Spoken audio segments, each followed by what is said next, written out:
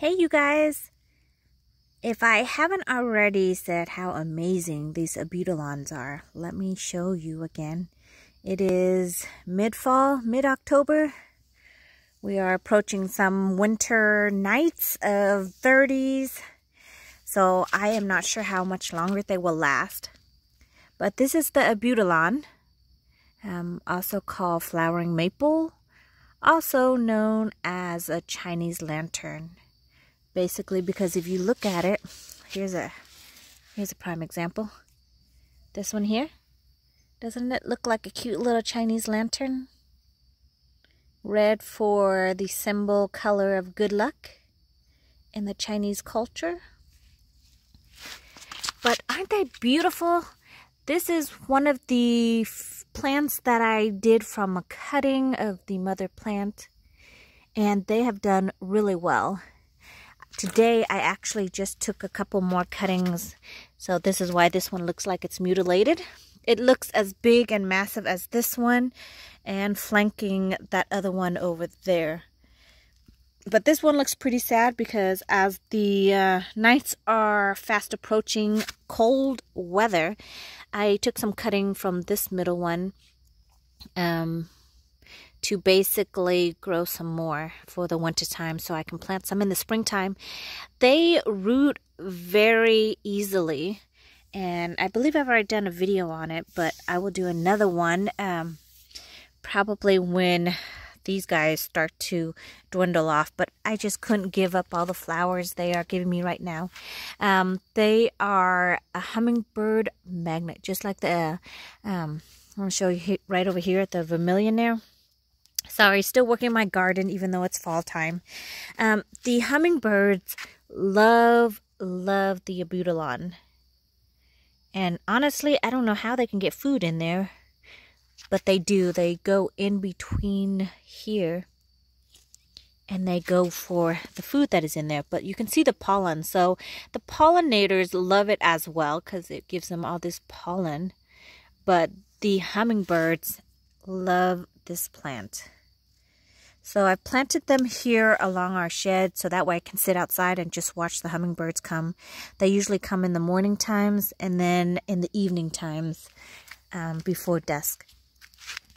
So if you look here, these are new buds that I have on the plant that are still growing, still sending me new flowers. So if you want something to flower all spring, all summer, and through the fall until you guys get that first frost, the Abutilon definitely does it. So as it starts out, these are tiny little buds that are forming. And eventually they get big enough to where they form this little tiny guy right there. See, he's going to probably open by tomorrow. Look at it. He's already like doing a downward lantern. So once they get to that position, then this is their prime right here. Then they look like this. And then once they are done, they usually last about a day. Then they get ready to close up kind of like this. Now you can let it keep on going and it will form a seed for you. So here's the seed pod.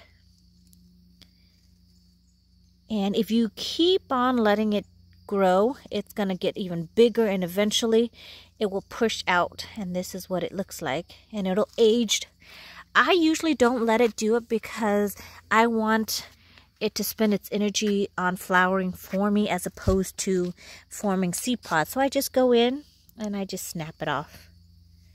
So if you snap it off it won't take the energy and time to form this little tiny seed pod that you see on the inside and then if you leave it it will eventually look like this. It'll get bigger.